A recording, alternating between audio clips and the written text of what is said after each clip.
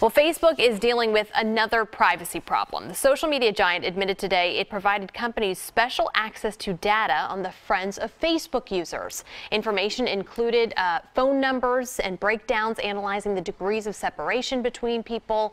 This reportedly went on after Facebook insisted it ended the ability of third party developers to gather that data on users' friends back in 2015.